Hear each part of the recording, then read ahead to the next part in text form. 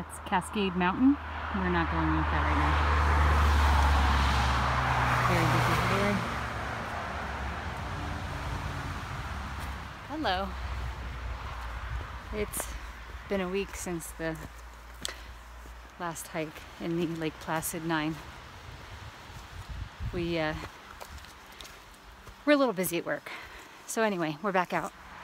Pitchoff is only I don't know, like a four mile round trip. I guess the summit is uh, wooded, but there is a viewpoint, so we'll check that out either on the way up or on the way down.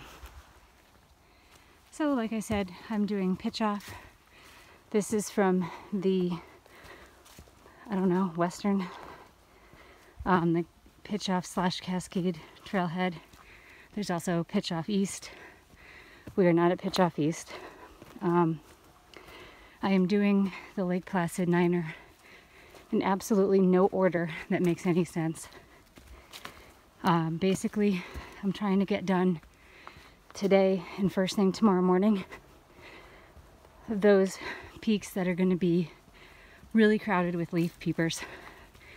It's the end of September and these trailheads fill up really fast and they are starting to restrict trailhead parking.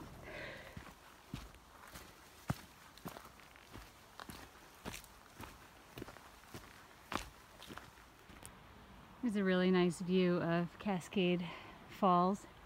Cascade is up there. You can see Cascade Lakes right down there and also down there. And the walls. People do ice climbing there. Summit, summit to the left, Balanced Rocks to the right.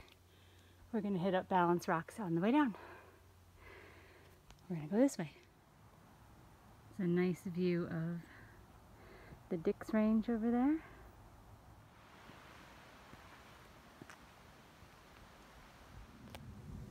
Here's a view from Balanced Rock. It's very nice.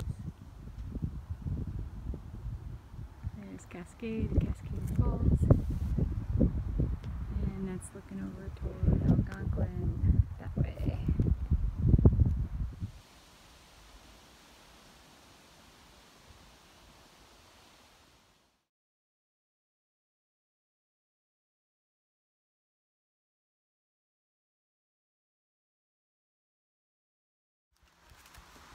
Hey!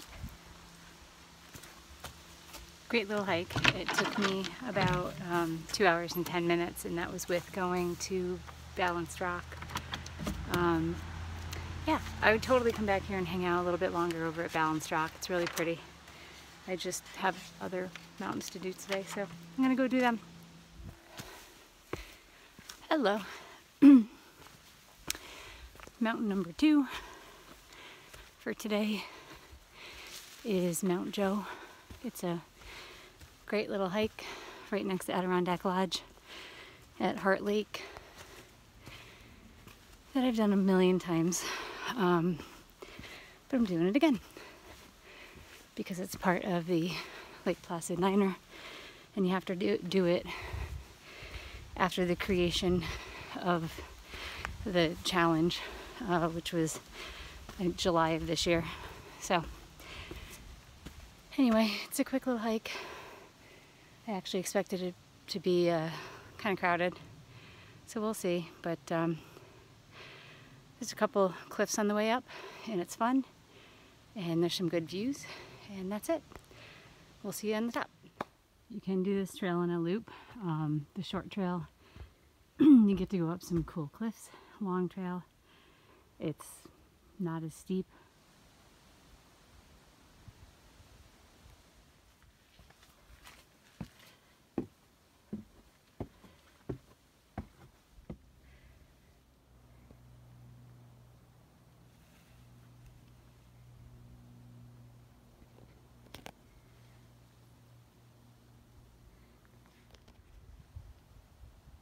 That's where I was a couple weeks ago when I uh, did the bushwhack out to Shepherd's Tooth. That's Algonquin with Wright in front of it. And you can't see Boundary Iroquois from here. It's kind of in the clouds. That's Bald Face. Pretty cool. It's nice up here. There's a bunch of people at the summit, so I'm headed down.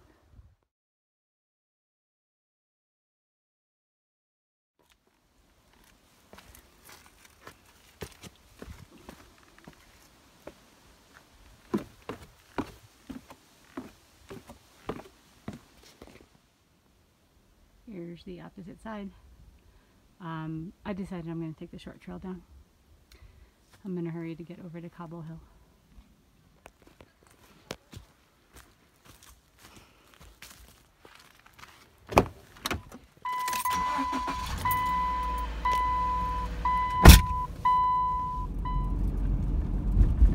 Heading over to Cobble Hill right now. I'm hoping to make it up to the top for the sunset.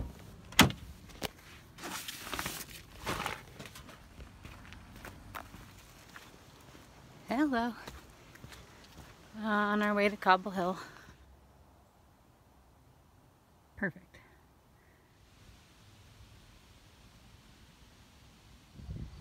That's the MacIntyre Range.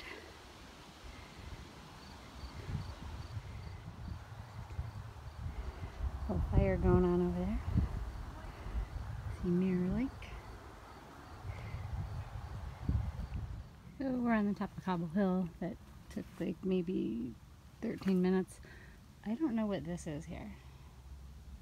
It's pretty big. Hmm. Something. I'm gonna go back over and check the sunset in a minute. I'm just gonna check and see what's up this way. I guess I'm at the top. I'm gonna go back down the steep part.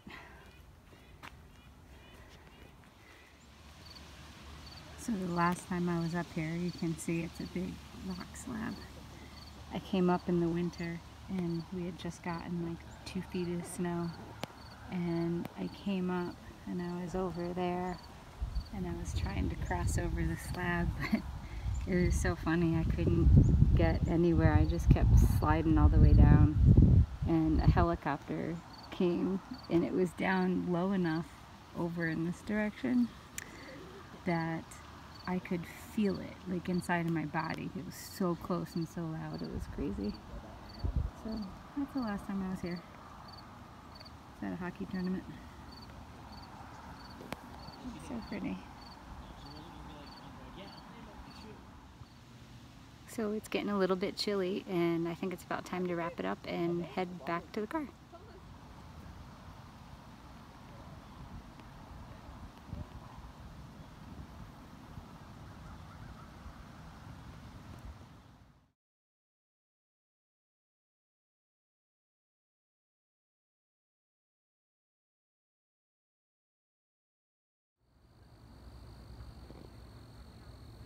Mirror Lake.